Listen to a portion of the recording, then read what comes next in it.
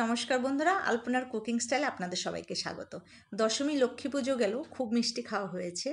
এবার আসুন কিছুটা নমকিন খাওয়া যাক।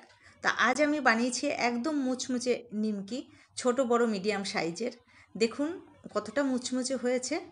আসুন দেখবেন এটা আমি কীভাবে বানিয়েছি। আমি দুই কাপ ময়দা নিচ্ছি। এখন দিয়ে দেব হাফ চামচ মতো কালো জিরে। আর দিয়ে দেবো হাফ চা চামচ আজওয়ান। এটাকে আমি একটু ক্র্যাশ করে দিচ্ছি, তাতে কি ফ্লেভারটা খুব ভালো আসবে। আর দিয়ে দেবো হাফ চা চামচ লবণ। এটাকে দিয়ে আমি একটু এগুলো নিয়ে মিশিয়ে নিচ্ছি। আর এখন দিয়ে দেব তিন টেবিল চামচ রিফাইন্ড তেল।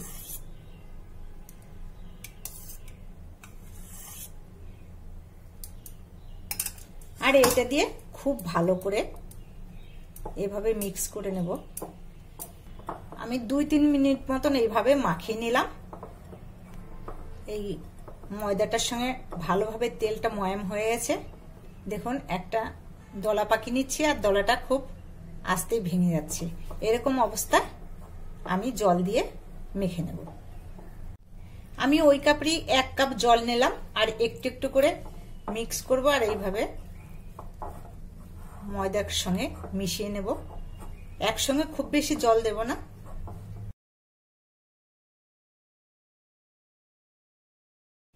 দুই কাপ ময়দাতে আমার পনে এক কাপ জল লেগেছে। এইটুকু জল আমার বেশি রয়ে গেছে এক কাপ থেকে। আটাটা মাখা হয়ে গেছে। এখন আমি এটাকে একটা ভেজা কাপড় দিয়ে ঢেকে আধা ঘণ্টা রেখে দেবো।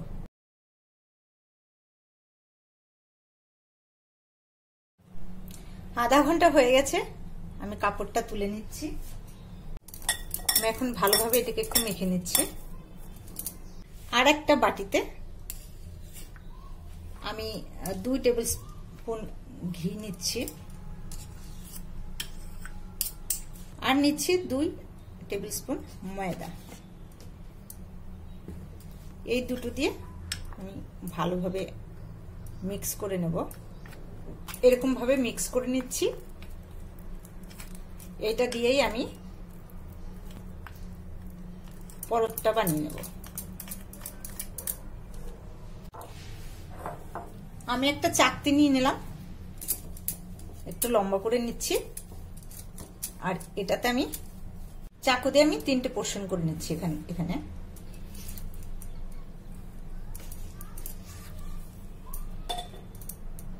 আমি এখানে তিনটে পোর্শন করে নিচ্ছি। এই পোর্শনগুলোকে আমি লম্বা লম্বা করে বেলে নেব। এক একটা বল নিয়ে এটাকে আমি এইভাবে আস্তে আস্তে করে বড় করব।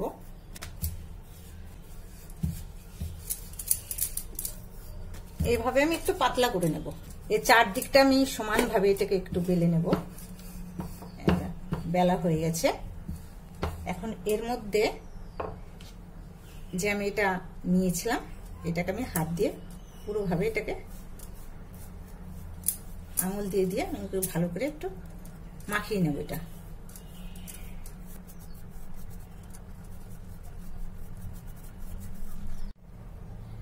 আমি এইভাবে এইভাবে রোল করে করে আস্তে আস্তে হাত দিয়ে ঘুরিয়ে ঘুরিয়ে এইভাবে আমি রোল করে নেব। আর এটাকে আমি একটু পাতলা লম্বা রোল করে নেব। এইরকম আমি রোল করে নিয়েছি আর এটাকে আমি পিস পিস করে এখন কেটে নেব।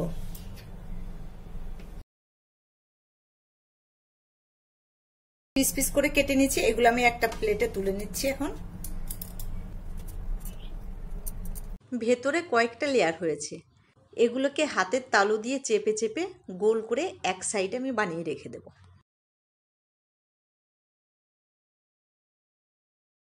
সবগুলোকে আমি এইভাবে বানিয়ে নিয়েছি।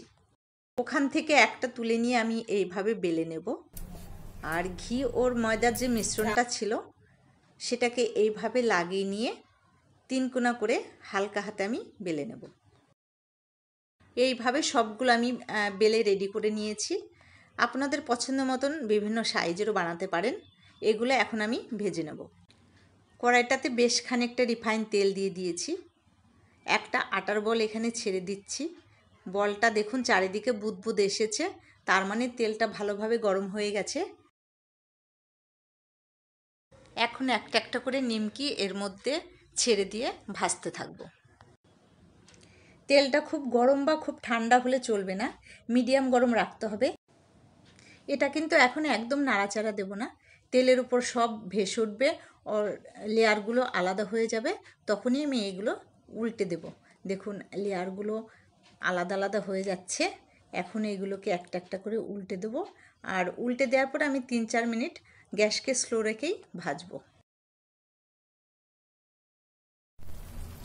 এই দেখুন, হালকা ব্রাউন হয়ে এসছে। এইগুলো এখন হয়ে গেছে। এগুলো আর তুলে নেব। এই যখন ঠান্ডা হয়ে যাবে তখন কালারটা আরেকটু ডিপ হবে। এই অবস্থায় আমি এগুলোকে তুলে নিচ্ছি। আমি সবগুলো তুলে নিয়েছি। এটা একটু ঠান্ডা হলে দেখাবো কতটা মুড়মুড়ে হয়েছে। আমি সেকেন্ড ব্যাসটা কিন্তু একটু মিডিয়াম সাইজ করেছি। এইটাও আমি সেম প্রসেসে ভেজে তুলে নেব। আমি যদি নিমকিগুলো এরকম বড় সাইজ করে বানাই, তাহলে একটা কাটা চামচের মাথা দিয়ে দুপুঠেই এরকম করে একটু দাবিয়ে দেব। তাতে কি এটা লুচির মতন ফুলে উঠবে না। আর আমি এইগুলো সেম প্রসেসে ভেজে তুলে নেব।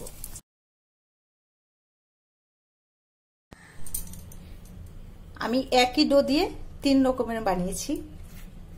ছোট সাইজের মিডিয়াম সাইজের আর বড় সাইজের। কতটা ক্রিস্পি হয়েছে। আর এটা দেখুন, একদম মুচমুচ আওয়াজ করছে। তো এই রেসিপিটা ভালো লাগলে আমার চ্যানেলকে সাবস্ক্রাইব করবেন। শেয়ার করবেন লাইক করবেন। আপনাদের খুব ভালো কাটুক দিনগুলো। আজকের মতো এখানেই রাখছি। আবার দেখা হবে আমার আরেকটা ভিডিওতে। বাই